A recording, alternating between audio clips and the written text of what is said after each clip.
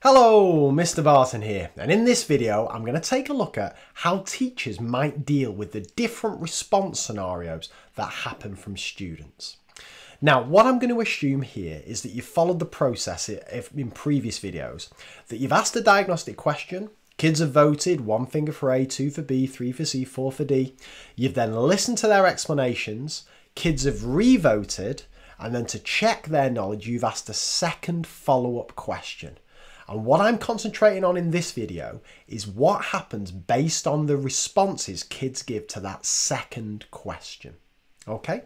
So, if you think about it, there are a few different things that could happen, and I'm just going to go through the main ones in this video. Now, I'm just going to offer my advice for how I deal with them, but this might be different for, you. You may have some different ideas, and that's absolutely fine. So, the first thing is there could be a 50 50 split. Roughly half your kids have got that second question right, half of them have got it wrong. How are you going to deal with that? Well, one thing that really works well, I've found, and it depends on the class, is to pair up the kids. So you get a kid who's got it right, sit them next to a kid who's got it wrong. And it's down to that child to coach the other child about that question and about that skill.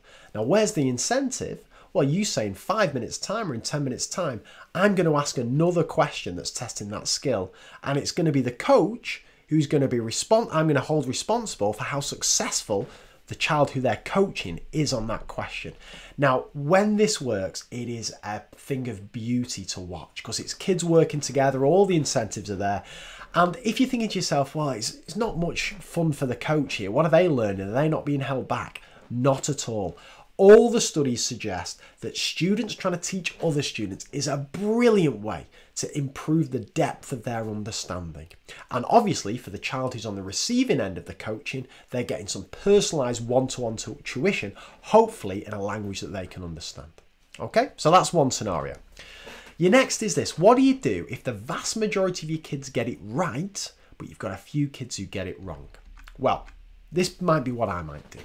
Bit of small group intervention. I'll get me four or five kids who've got it wrong. I'll get them together, maybe at the front of the class. Now, I'm going into that teaching much better informed because I've seen what answer they've given.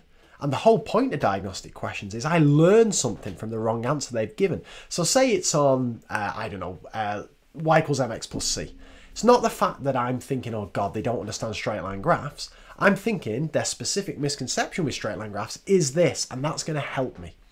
The rest of the class can continue with whatever work that you've got set, or they can analyse the diagnostic question as we've talked about, or write their own diagnostic question, or you can bring one of them kids in to help with your small group intervention, whatever you want. Okay?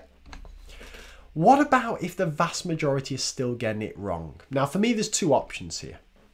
The first is this and again, depending on the class, this works beautifully. Say you've got like six kids who get it right. I would put those six kids and make them coaches of their own group of kids. And it's like the peer to peer stuff we looked at before. Coaches are challenged to explain the topic at a deep level, and then the coaches are responsible for the group's success when I ask a follow up question later on. So, again, this peer to peer learning working together works beautifully when it works. Another option, though, is this you might decide you need to reteach the majority of the class. But what are you going to do with the kids who've got it right? Well, what I'd do, I wouldn't necessarily give them follow up work or let them crack on with the next topic or whatever. I'd say, right, you lot, what I want you to do, write me down in words what each of the wrong answers reveals. Why is the rest of the class getting this wrong?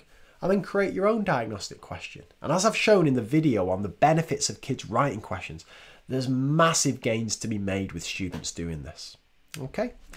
And then what about this? Everyone gets it wrong. Well, we have a little cry and then we pick ourselves up and then we're fine because it's time to reteach the topic. But it, but it's good news. You're doing it far better informed. You're not at kind of knowledge level zero here because you've got an idea where the misconceptions of these kids lie based on the answers that they've given. And as we're going to look at um, in a later video, you can actually use the subject insights, so use the explanations kids around the world have voted for as their favourite way of understanding topics to better inform you about how you might want to explain it differently next time you teach the topic. So all's not lost if everyone gets it wrong. And what about this? Everyone gets it right. Well, I will personally would do a very quick check of reasons, very quick check. So just pick a couple of kids. Why have you chosen that? Why have you chosen that? Very quick check of the choice of misconceptions, possibly. So I might say, all right, none of you went for D, but why do you think D was chosen by the question author? Because that just adds a bit of depth to it. But then I'm moving on. I'm not hanging around, I'm moving on.